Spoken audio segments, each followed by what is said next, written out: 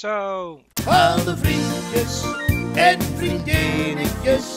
welkom bij een nieuwe aflevering van mijn Feyenoord carrière. En we gaan vandaag weer twee wedstrijden spelen. We spelen vandaag de eerste wedstrijd voor de beker tegen Heerenveen thuis. En daarna gaan we naar het kasteel voor een eredivisiewedstrijd tegen Sparta. Dus dat wordt hartstikke leuk. Jongens, wil ik jullie vragen. ehm, de laatste tijd, video's worden op zich redelijk bekeken. Niet super of zo. Ik hoop toch eigenlijk wel op wat meer kijkers. Maar jongens, help mij even. Druk even op like. En laat even in de comments achter wat je van de video vond. Of zeg gewoon wat anders. Maakt me niet uit. Maar jongens, help me alsjeblieft. Reageer en like. Daar word ik heel blij van. Hier dan. We beginnen met Kik Piri. Kik Piri natuurlijk overgenomen van, eh van de Heerenveen. Hij speelt dus tegen zijn oude club. En we hebben hier de opstelling. Bijlo, Nieuwkoop.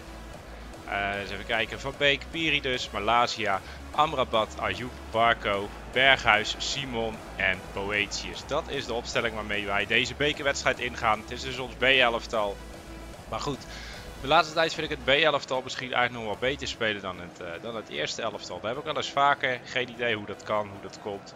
Want er staan toch over het algemeen iets mindere spelers in. Maar goed, het speelt gewoon erg lekker dit elftal. Dan de opstelling van Heerenveen met Hansen, Dumfries, Montes, die verdediger, hoe heet die? Mantovani of zoiets. Woudenberg, Kobayashi, Schaars, Eudegaard, Royas, Kakuta en die spits, jongens. Hoe spreek je zijn naam ook alweer uit? Goganejadjat. Goedje gaan dat? Gorganatjat. Coach Aniat.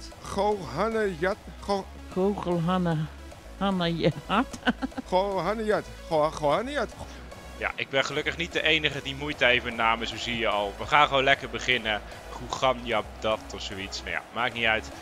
Hij doet in ieder geval mee. Dan hier, goede kans voor Simon uit de draai. Maar Hansen pakt die bal. Dan hier, Bijlo breekt de bal in het spel. Malaysia op Ayoub. Ayoub op Amrabat. Amrabat op Barco. Barco weer op Ayoub. Jongens, dat gaat lekker daar op het middenveld. Ayoub op Simon. Simon terug op Ayoub. Ayoub met een prachtige bal op Barco. Koekoek. Zo. Goal. Ja, ja, ja, ja, ja. Dat is toch even een prachtige bal, jongens. Niet te geloven. Wat een mooie goal. Wat een mooie goal van Barco. Het begint helemaal met bij Bijlo. Combinaties door het midden van het veld. En jawel, het is Barco die prachtig afrolt. Goede bal van Ayoub Piro. Precies goed. En Barco in één keer op zijn slof. Boom. En het is een goal. Helemaal niks mis mee. Lekker begin van deze wedstrijd zo, dacht ik.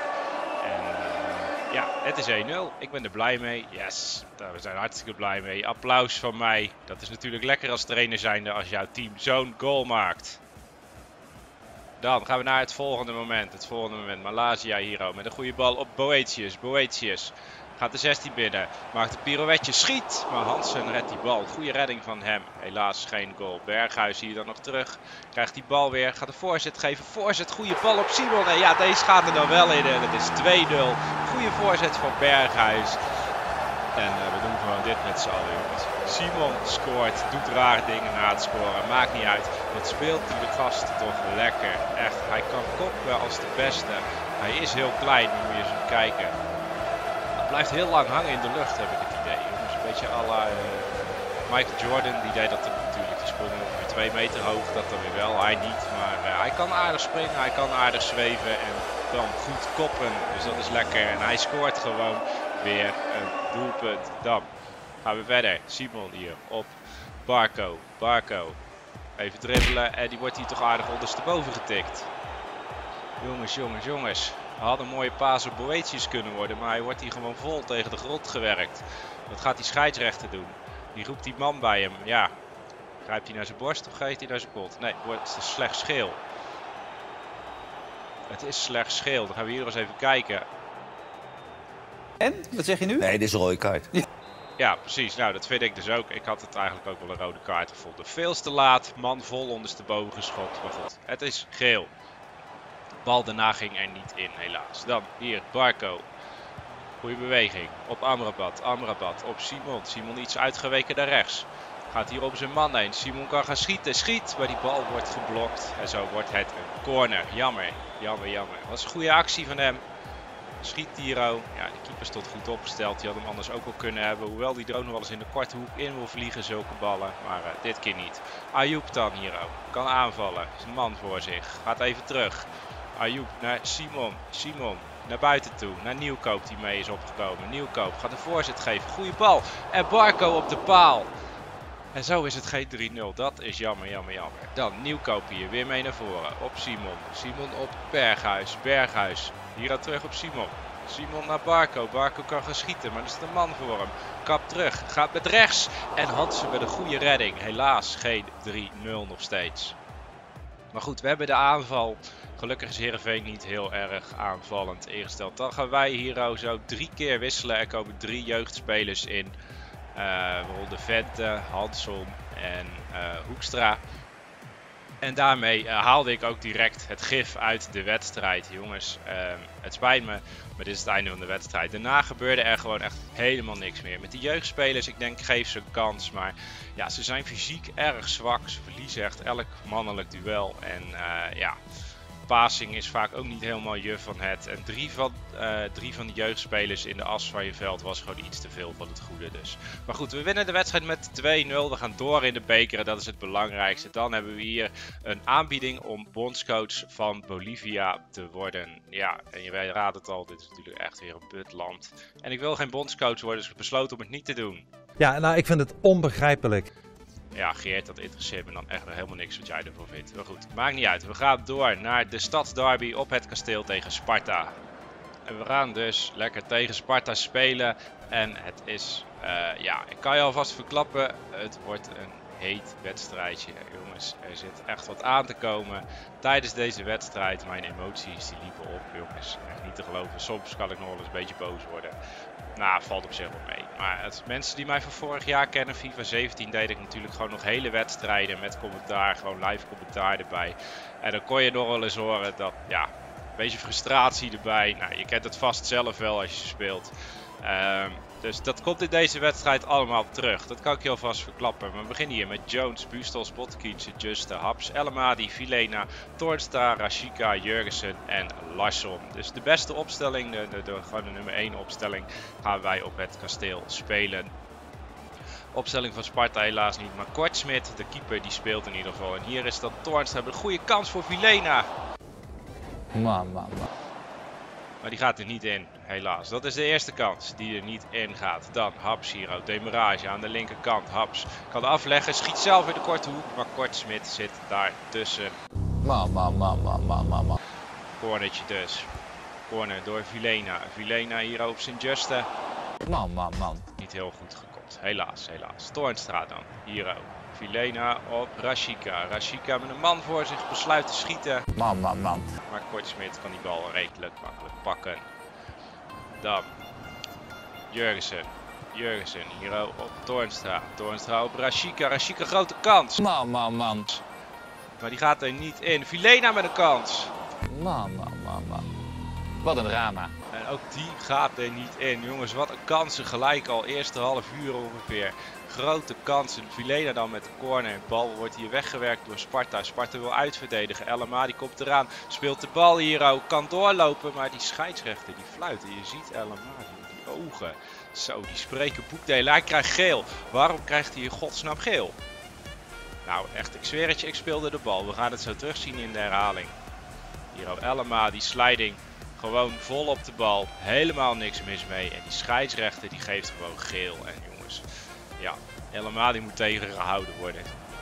Hou me tegen! Hou me tegen, jongen! Ik snap er niks meer van. Dan, Sparta hier met een aanval. Jones, wat doe je man? Oh, het is dat Boosters daarop staat te letten. Maar Jones, ik weet niet wat hij aan het doen was, maar goed. Rashika dan. Rashika op Toornstra en dan gaan we verder in de wedstrijd. Dan Vilena naar Toornstra. Toornstra hier op El Amadi. Die krijgt wat ruimte, kan gaan schieten. El Amadi. Maar die schiet hem naast. Man, man. Ja, dat is jammer, jammer, jammer. El Amadi nog niet gescoord dit seizoen.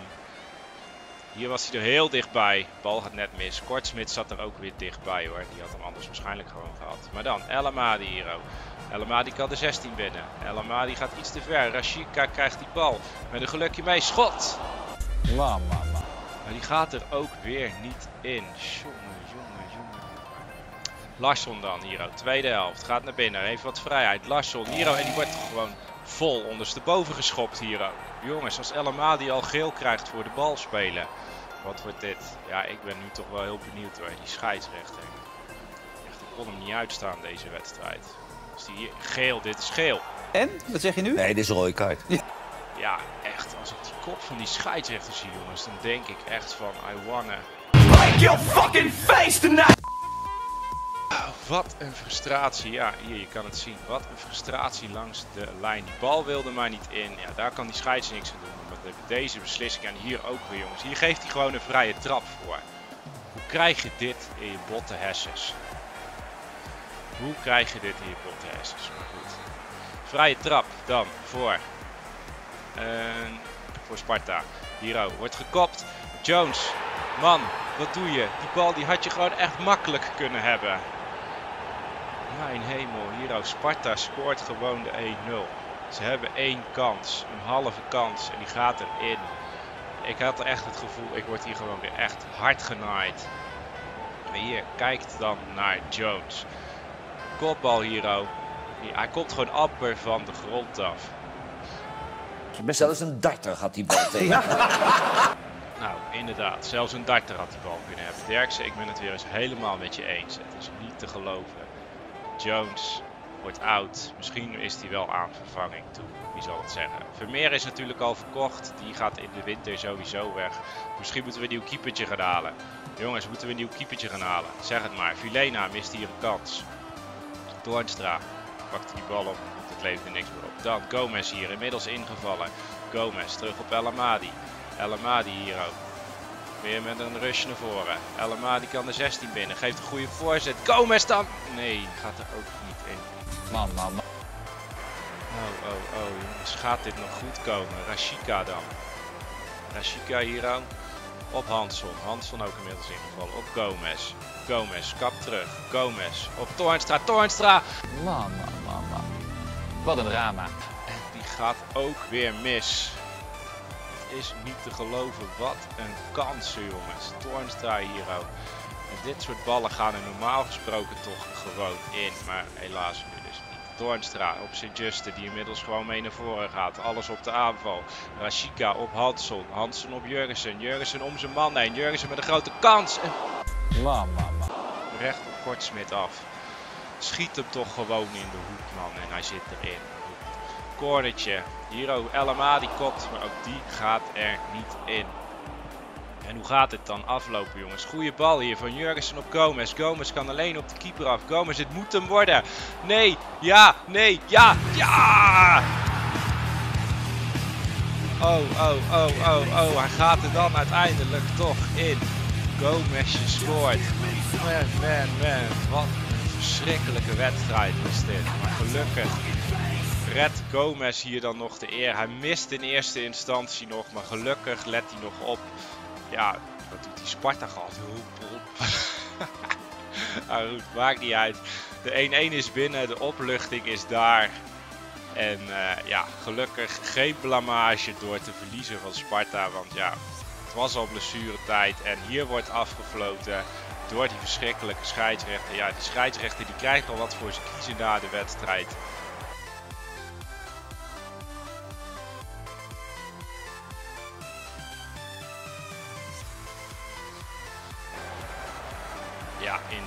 Wordt gewoon vol voor zijn tokens gereden. Ik vind het terecht ook.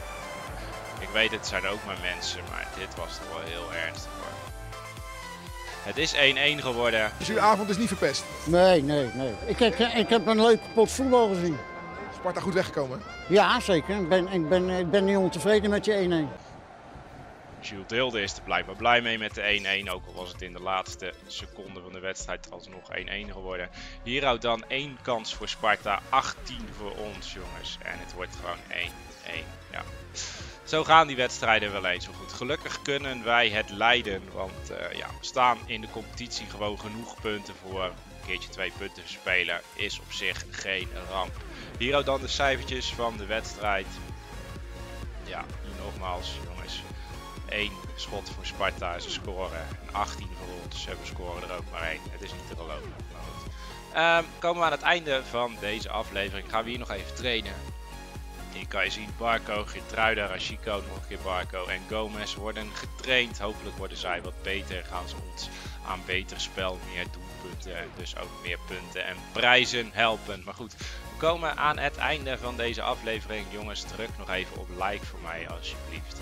Want uh, dan word ik echt heel erg blij van en hopelijk helpen jullie mij om mijn kanaal te laten groeien. Hier kon je trouwens de stand zien. We staan dus genoeg punten voor. Jurgensen momenteel uh, topscorer met 10 goals. Simon zie je daar nog staan met 6. En ook Boetius staat lekker met 5 goals daar in het lijstje. Gaan we zo nog naar de assists kijken. Maar ga ik jullie uh, ja, bedanken voor het kijken, want het einde is in zicht het einde er zegt. Um, ja, hopelijk vonden jullie het leuk. Druk dus nog even op like. Laat in de comments weten wat je ervan vond. Of ik aan dingen anders moet doen of zo. Let me know. En dan, uh, ja, hopelijk hebben jullie een fijne dag verder. En tot de volgende keer. Laters.